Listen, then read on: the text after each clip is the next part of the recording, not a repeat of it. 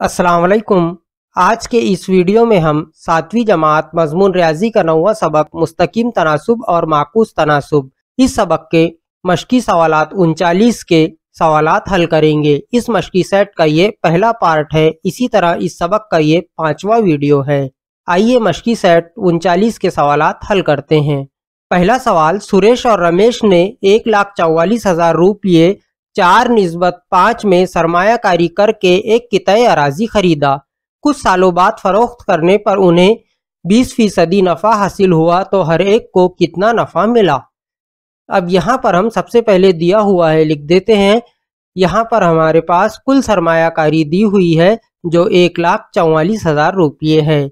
इसी तरह सरमायाकारी की नस्बत दी हुई है, चार नस्बत पाँच। कुछ साल बाद ये कितय अराजी फरोख्त करने पर उन्हें बीस फ़ीसदी नफ़ा हासिल हुआ, यानी नफ़ा दिया हुआ है बीस फ़ीसदी।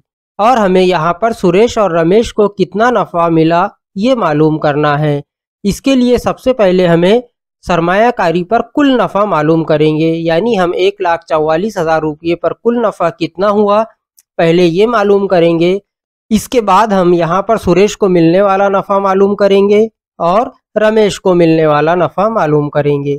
सबसे पहले हम कुल नफ़ा मालूम कर लेते हैं, यानी एक लाख चौवालीस हज़ार रुपये पर कुल नफ़ा। यहाँ पर हमारे पास जो दिया हुआ है, सौ रुपये पर नफ़ा, बीस रुपये, यानी बीस फ़ीसदी। तो एक लाख चौवालीस हज़ार पर कुल नफ़ा ये बराबर होगा बीस बटे सौ ज़रब एक लाख चौवालीस हज़ार। इसे हम हल करते हैं। नसब नुमा के दो सिफर और शुमार कुनिंदा के दो सिफर कट गए। हमारे पास बाकी बचा है बीस ज़रब एक हज़ार चार सौ चालीस। दोनों की ज़रब करने पर जवाब आता है अट्ठाईस हज़ार आठ सौ। यानी एक लाख चौवालीस हज़ार रुपये पर कुल नफ़ा हासिल हुआ अट्ठाईस हज़ार आठ सौ रुपये।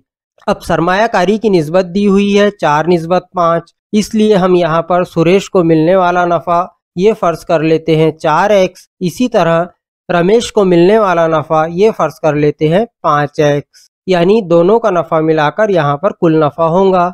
इसका मतलब चार एक्स जमा पाँच एक्स ये बराबर होगा अट्ठाईस हज़ार आठ सौ। अब यहाँ पर हम सबसे पहले एक्स की कीमत मालूम कर लेंगे। चार एक्स जमा पाँच एक्स बराबर अट्ठाईस हज़ार आठ सौ, यानी चार और पाँच नौ एक्स बराबर अट्ठाईस हज़ार आठ सौ। यहाँ पर एक्स की कीमत मालूम करना है एक्स को जगह पर रहने देंगे। अट्ठाईस हज़ार आठ सौ अपनी जगह पर रहेगा, नौ यहाँ पर ज़रब के साथ था, तरफेन की दूसरी जानब जाने पर नसबनुमा में आएगा। अब अट्ठाईस हज़ार आठ सौ को नौ से तकसीम करने पर जवाब आता है तीन हज़ार दो सौ। यानी एक्स की कीमत आ गई यहाँ पर तीन हज़ार दो सौ। अब सुरेश को मिलने वाला नफ़ा कितना था? चार एक्स। पहले हम वो मालूम कर लेते हैं। अब चार एक्स में यहाँ पर एक्स की कीमत रख देते हैं, यानी चार ज़रब तीन हज़ार दो सौ। तो ये होगा बारह हज़ार आठ सौ। यानी सुरेश को बारह हज़ार आठ सौ रुपये नफ़ा मिला। इसी तरह अब रमेश को मिलने वाला नफ़ा था पाँच एक्स यहाँ पर एक्स की कीमत रख देंगे पाँच ज़रब तीन हज़ार दो सौ। ये होगा सोलह हज़ार। यानी रमेश को सोलह हज़ार रुपये नफ़ा मिला। इसे हम इस तरह लिख सकते हैं, सुरेश को बारह हज़ार आठ सौ रुपये और रमेश को सोलह हज़ार रुपये नफ़ा मिला। इस तरह से ये पहला सवाल हल करेंगे। आइए दूसरा सवाल देखते हैं। विराट और सम्राट ने बितरतीब पचास हज़ार रुपये और एक लाख बीस हज़ार रुपये सरमायाकारी करके एक कारोबार शुरू किया। इस कारोबार में उन्हें बीस फ़ीसदी नुकसान हुआ तो हर एक को कितना नुकसान हुआ? बिल्कुल उसी तरह से ये सवाल हल करना है। अब यहाँ पर सबसे पहले हम दिया हुआ है लिख देते हैं। यहाँ पर विराट की सरमायाकारी पचास हज़ार रुपये है, ये हम लिख देंगे। इसी तरह सम्राट की सरमायाकारी एक लाख बीस हज़ार रुपये है, ये भी हम यहाँ पर लिख देंगे। अब इसके बाद हम कुल सरमायाकारी यहाँ इन दोनों की मदद से मालूम कर लेते हैं। कुल सरमायाकारी यानी विराट और सम्राट दोनों की सरमायाकारी। इन दोनों की जमा करने पर यहाँ पर हासिल होगा एक लाख सत्तर हज़ार। अब यहाँ पर सरमायाकारी की नस्बत विराट के पचास हज़ार और सम्राट के एक लाख बीस हज़ार, यानी पचास हज़ार नस्बत एक लाख बीस हज़ार। इसे हम मुख्तसर कर देंगे तो ये होगा पाँच नस्बत बारह। अब यहाँ पर इनकी नस्बत हासिल हो गई। इस कारोबार में उन्हें बीस फ़ीसदी नुकसान हुआ, यानी नुकसान बीस फ़ीसदी हुआ तो हमें यहाँ पर हर एक को कितना नुकसान हुआ, यानी विराट को कितना नुकसान हुआ, इसी तरह सम्राट को होने वाला नुकसान, ये दोनों नुकसान मालूम करना है। तो सबसे पहले हम पूरी सरमायाकारी पर कितना नुकसान हुआ, ये मालूम कर लेते हैं हम। यहाँ पर हमें एक लाख सत्तर हज़ार रुपये पर कुल नुकसान मालूम करना है। सौ रुपये पर नुकसान, बीस रुपये हुआ। इसलिए एक लाख सत्तर हज़ार रुपये पे नुकसान, ये बराबर होगा बीस बटे सौ जरब एक लाख सत्तर हज़ार। यहाँ पर शुमार कुरिंदा और नसब नुमा के दो सिफर काट देंगे।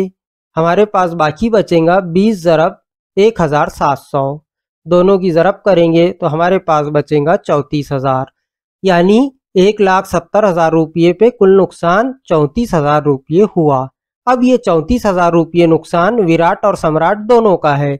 हमें यहाँ पर विराट और सम्राट दोनों का अलग अलग नुकसान मालूम करना है। इसके लिए हम यहाँ पर निस्बत का इस्तेमाल करेंगे। सरमायाकारी की नस्बत थी पाँच, नस्बत बारह। इसलिए नुकसान की नस्बत भी पाँच, नस्बत बारह ही होगी। यानी यहाँ पर हम विराट को होने वाला नुकसान ये फ़र्ज़ कर लेंगे पाँच एक्स। इसी तरह सम्राट को होने वाला नुकसान ये फ़र्ज़ कर लेंगे बारह एक्स। अब दोनों के नुकसान की जमा करेंगे तो वो चौंतीस हज़ार आएगा, यानी पाँच एक्स जमा बारह एक्स बराबर चौंतीस हज़ार। इसी का हमें इस्तेमाल करके दोनों का नुकसान मालूम करना है।